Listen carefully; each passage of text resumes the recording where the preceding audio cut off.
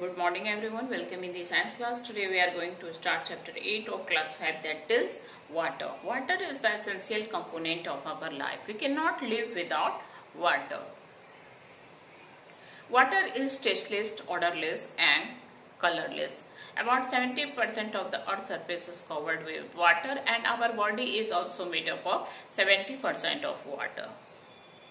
The sources of water are river, lake, pond, sea, tube well, underground water, etc. We can use water for various purposes, for cooking, for bathing, for drinking, for washing and various household purposes. Now let's learn about the impurities in water. Water is the universal solvent. Most of the substance present on earth can soluble in it. That's why water is not present on earth in the purest form.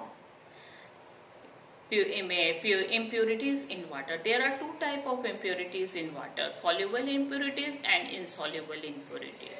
Soluble impurities are those which can soluble in water such as uh, salt and insoluble impurities are those which cannot soluble in water such as sand, mud, paper, etc.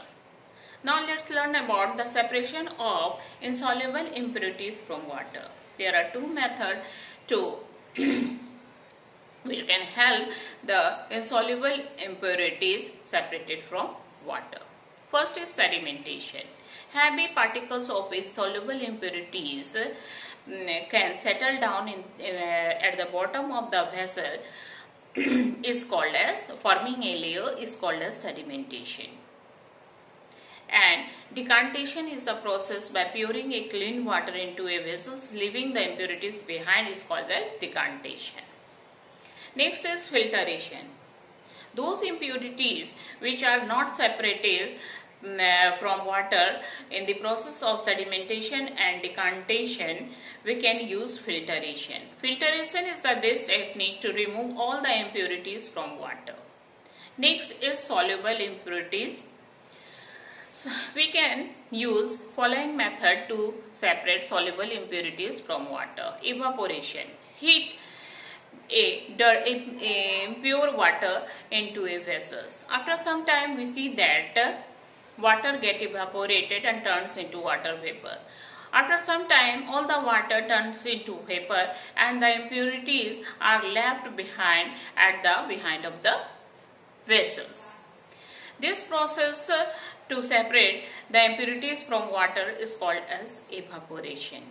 Next is distillation. Distillation is the process by which water is can separated from the impurities is called as distillation. Now that's all in this chapter children. I hope that you easily understood this chapter. Your homework for today is you can draw a water cycle in your copy with neat and clean drawing. Thank you.